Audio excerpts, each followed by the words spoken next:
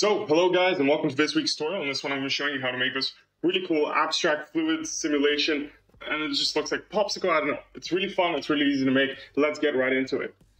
So, I'm going to start off with an empty blender scene. So I'm going to select everything and delete it, and then I'm going to Shift A, add in an icosphere. Let's give myself an icosphere.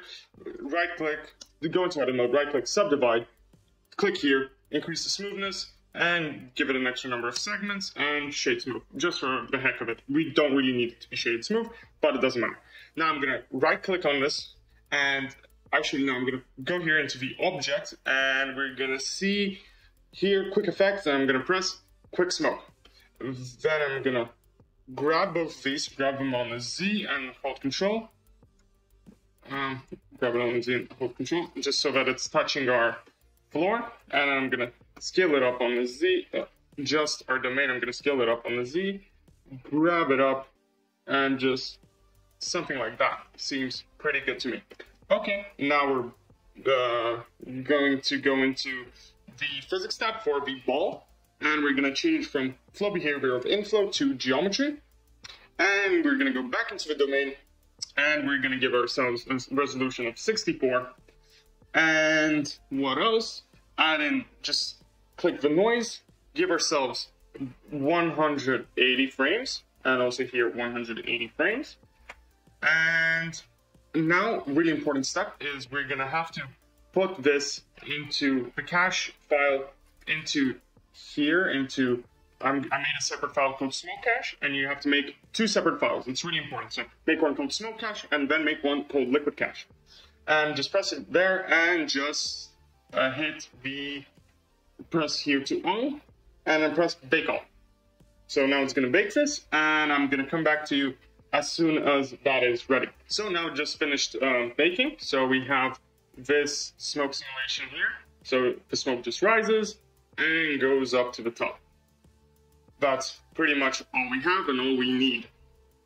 So what I'm gonna do now is rename these. So we have already smoke domain given to us, and I'm just gonna call this smoke geom or smoke geometry.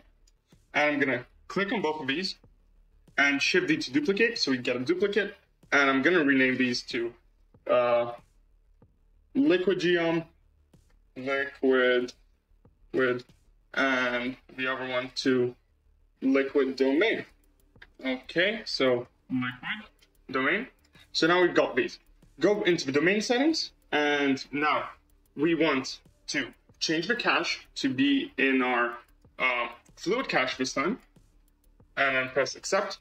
And now we can only free everything. So press free all now. If you do not uh, press free all without it being in the other file, it's going to delete your smoke domain.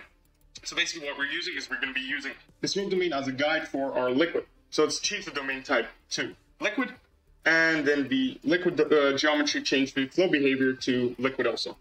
And go into wireframe mode so you can see everything again.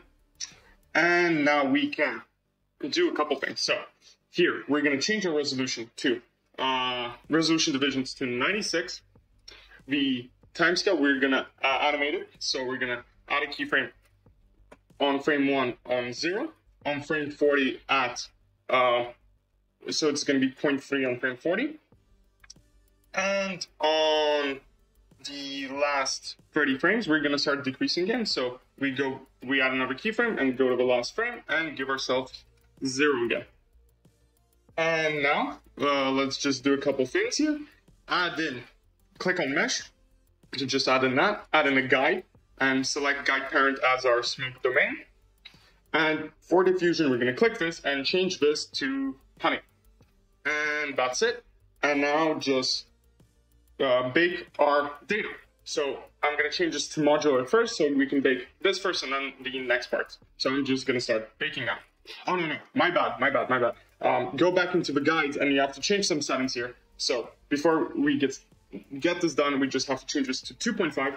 So that's going to show how much the liquid simulation is going to lag behind and change this to the velocity factor to 12 that's what works for me. And if you follow according to what I did, it should work for you. So I'm just gonna press bake now, and I'm gonna get back to you as soon as it's done baking. So now that I've baked both my mesh and the general settings, we have this animation. So it starts off as a ball, and then it slowly goes up and follows our smoke, and then goes into like a splashy motion, and then slows down again. So that's basically what we want to see. Okay, now I'm just going to go into this tab and enable the render options. So we're going to disable the smoke uh, and the smoke domain here in the renders and also the liquid domain, no, uh, liquid geometry. And so all we have left is this. That's what we want to see right now. Okay, pretty good. We can go back into solid mode and look at this.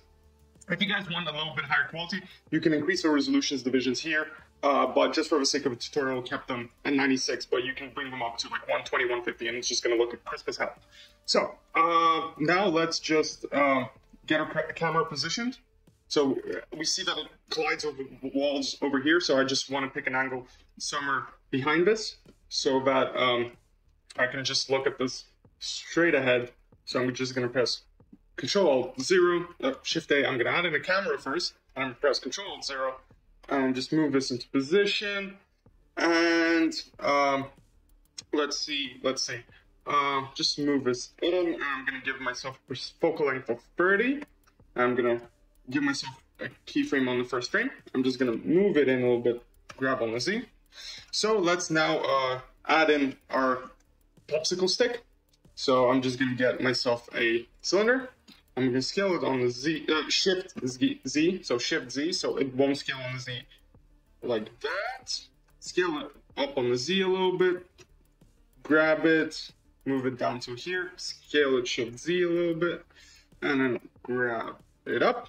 Okay, and then I'm just gonna backslash, and I'm gonna go into edit mode. I'm gonna select this face, and I'm gonna select the bottom face. Yep, and then hit X and delete the faces. Okay? Just tab out of edit mode. Give this a solidify modifier. I'm just gonna bring it up a bit. Add myself a bevel modifier. Give myself a couple segments. Bring this in a little bit. Add the angle, the limit method to angle. Shade the smooth.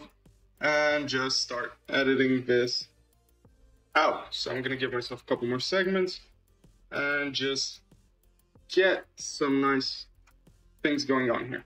So now this looks pretty good to me. I just, I need to change this a little bit. One second. Okay, something like this seems good. Yup. Okay, so now we've got this. And we can backslash again, and now it's inside our popsicle. Okay, perfect.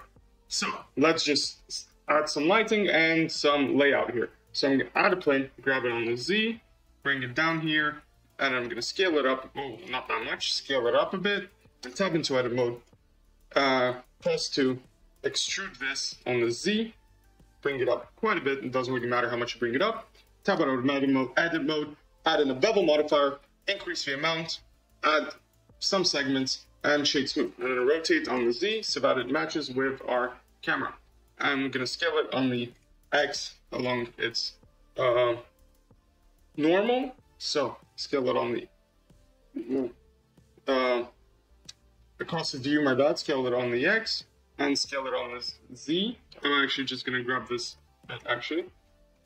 Uh, hmm, grab this on the Z a little bit and that's it. Okay, so now let's add some lighting to this and let's shade this. So this can be done in Eevee and in cycles. Um, but I'm gonna, for the sake of the tutorial, I'm gonna do this in Eevee, but I'll give you some tips for cycles also. So add in a light, area light, grab it on the Z, and go into the light settings, change it to a disk, scale it up a bit, give it a strength of around 800, and grab it on the Z a little bit because we're gonna have the sprays going upwards.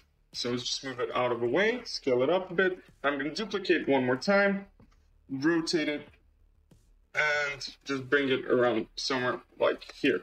So it's gonna be adding some backlight. Okay, uh, but as you can see, our camera is not in the perfect position throughout the whole animation, so we're gonna have to animate the camera. So, go to frame one. It seems pretty good, it's positioned pretty well. So go into the last frame, and what I'm gonna do now is I'm gonna give myself focal length of 50 here. and add a keyframe. And just go back and add keyframes on the camera for the rotation and the location. And let's go to the last frame again. And then let's give ourselves a nice look at this. R on the, I'm gonna rotate this on the X. Zoom out a bit, grab on the Z, zoom out a bit, grab on the Z, just give myself a nice positioning. And so now if I insert my keyframes, we will have our camera moving from this position and throughout the whole animation, it's gonna follow the way our liquid flows. So now let's shade this. Um, yeah, let's go into shading tab and give ourselves rendered mode. And here I want to go into the environment tab and change the color from color to environment texture. And I'm going to open up an HDRI that I've uh, downloaded. I'm going to link uh, it in the description. So just go to HDRI Haven and you'll find this HDRI. So like select our, uh, our domain, our liquid domain, and delete for principled BSDF that it gives us.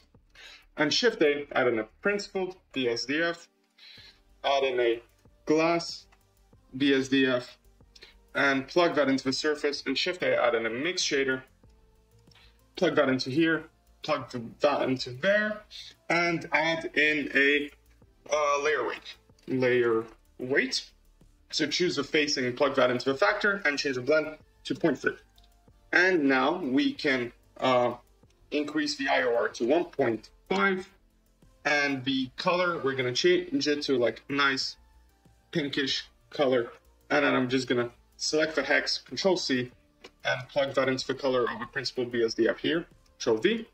And I'm gonna decrease the roughness on the principled BSDF increase maybe the specular a little bit and now shift it add a normal. Uh, a bump node I'm sorry. Uh, shift A add in a bump node plug the bump into the normal, shift A, add in a color ramp, plug the color ramp into the height, and now shift A, add in a noise texture, noise texture, plug the color into the factor, and then press Control T if you have node wrangler enabled, and if you don't, go into Edit, Preferences, and search in the um, add-ons, search node wrangler, and you're supposed to have it, and just click, click this tick mark, and it should bring it back. So now we're just gonna increase the scale of our noise texture to around something like 15. And I'm just gonna bring this color ramp in somewhere here and bring this a little bit closer. And then just decrease the strength down a bit. And here it has to be object into the vector. So now we're supposed to see the texture come up. Just give it a second. Yeah. And let's just add the strength a bit and just make it a little softer something like this. So we just want some deformation on the popsicle. Okay, pretty good. Um, so I'm just gonna duplicate this again. So Control C, and I'm gonna add it as a new texture to our popsicle stick. So I'm gonna press Control V, and I'm gonna grab this and plug this in. I'm gonna increase the scale up a bit and bring this in a little bit. And now we can see that in our popsicle stick, we have this kind of texture going on. Okay, so if we go into rendered mode uh, and decrease the strength here, 0.5. If we go into rendered mode, uh, maybe one is, was good. So if we go into render mode, we have this. And legit, at this point, this is our whole animation. We just need one more material for the ground. Just make it a bit lower roughness, increase the specular, and that's about it. So we have finished the animation if you want to just for Eevee add bloom, add screen space reflections, and color management to very high contrast. And now this looks really poppy and it just looks amazing. But if we go into Eve, into Cycles, this already looks really good. And maybe if you guys want, uh, just add a little bit more um, stronger light so we can see the object in the middle and then that's it. Just render it out. So let's go into the exporting tab select the file, call whatever, file format as FFmpeg, encoding as MP4, and output quality as perceptually lossless. And if you hit the Control F12, you're gonna render out an animation that looks something like this. And yeah, so guys, that's it for the video. I hope you guys enjoyed, uh, and um, I hope I'm to see you in the next one. If you guys enjoyed my content, please look at more of my videos. We're to be up top here. And yeah, hope you guys enjoy. Hit the sub button, hit the like button. Uh, it all helps out the channel. Thank you guys for watching. See you guys in the next one. Goodbye.